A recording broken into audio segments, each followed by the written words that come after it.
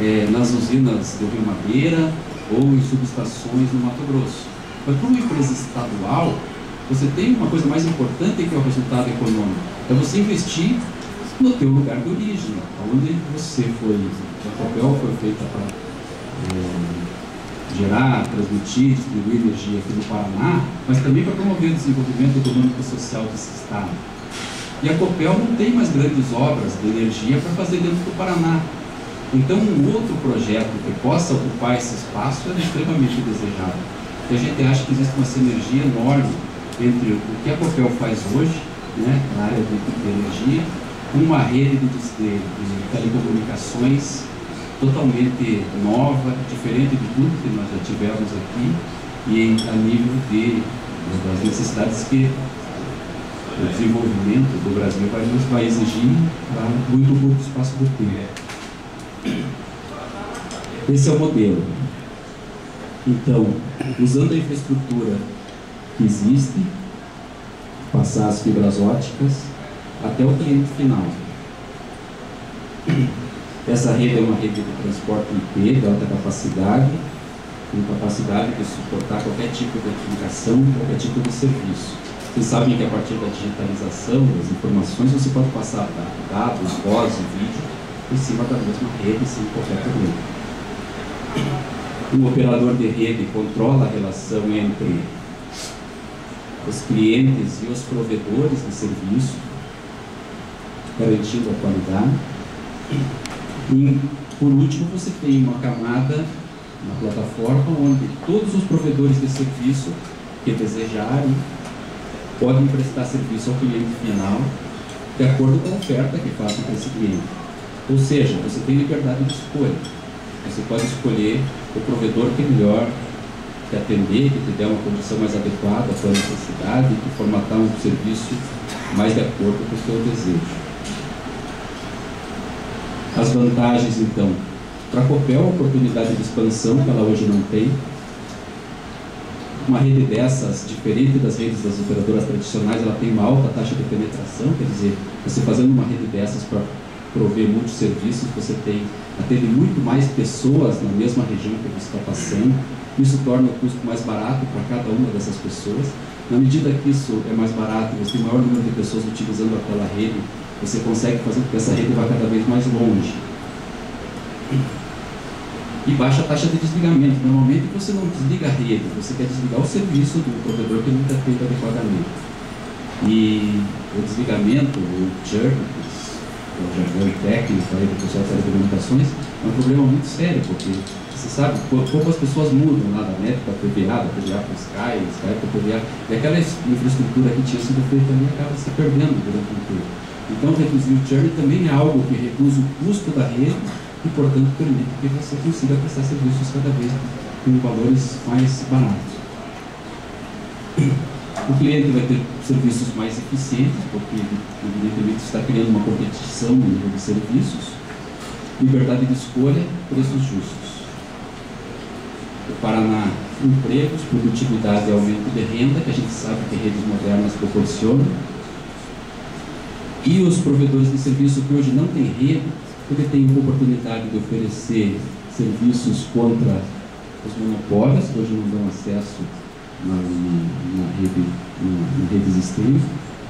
Essa rede é uma rede aberta, ou seja, qualquer provedor de serviço que deseja pode participar dessa rede, e neutra, ou seja, ninguém que opera a rede vai estar interferindo no teu serviço para que você não prejudique algum algum serviço que a operadora deseja. Por exemplo, é, muitas vezes você usa um Skype e você sente que o Skype entrecorta quando você está utilizando.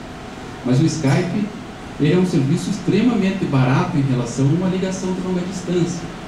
Então, se imagine uma empresa com Skype, como ela pode fazer muito mais coisas, ela tem diversas vantagens usando o Skype em relação a usar a telefonia tradicional. Evidente que as operadoras que detêm a rede não querem que você trafegue caras.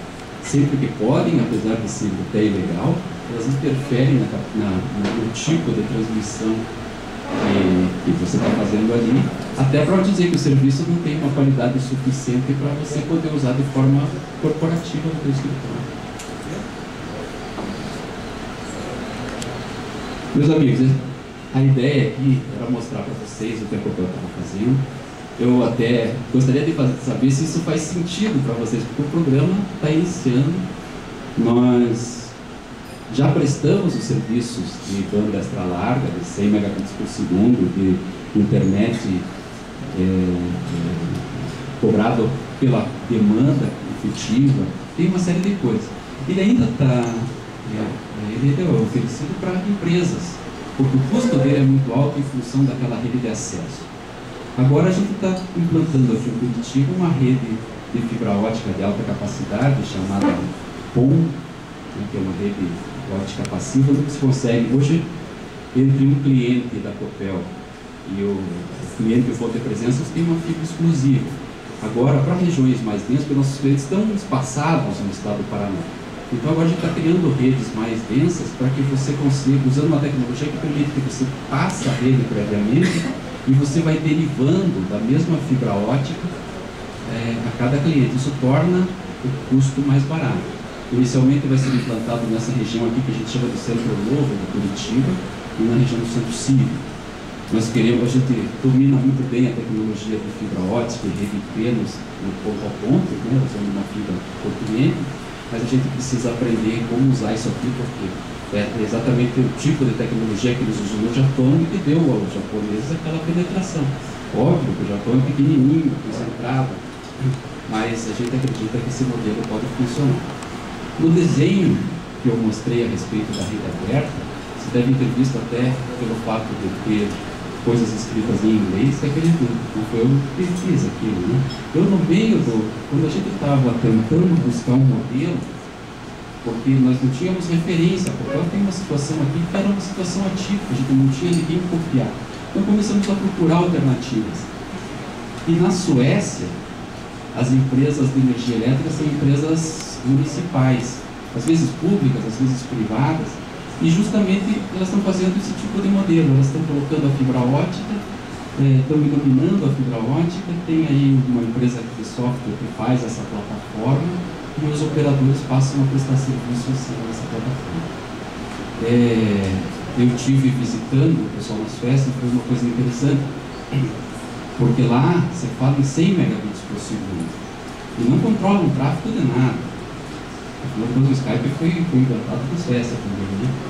É, e o que, que aconteceu? Eu estava conversando com uma pessoa que tem uma empresa dessas. E estava no táxi dizendo, mas o que, como é que, o que, que vocês usam exatamente em 100 megabits por segundo? E nesse momento o motorista do táxi falou, ah, isso eu posso responder para o senhor. Eu disse, bom, então me diga, né, o que, que acontece?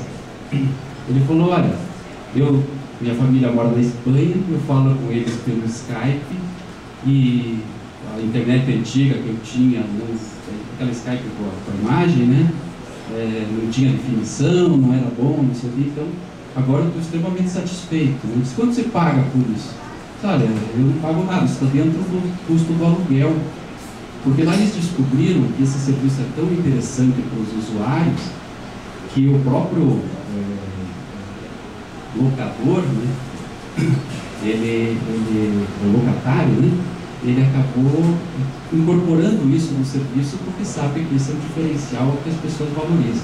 E perguntei mais ainda para o motorista, e o que, que aconteceria se alguém te oferecesse, então, uma outra casa aqui próxima, né? Como se compararia isso? Ele falou, ah, também, isso é fácil de responder.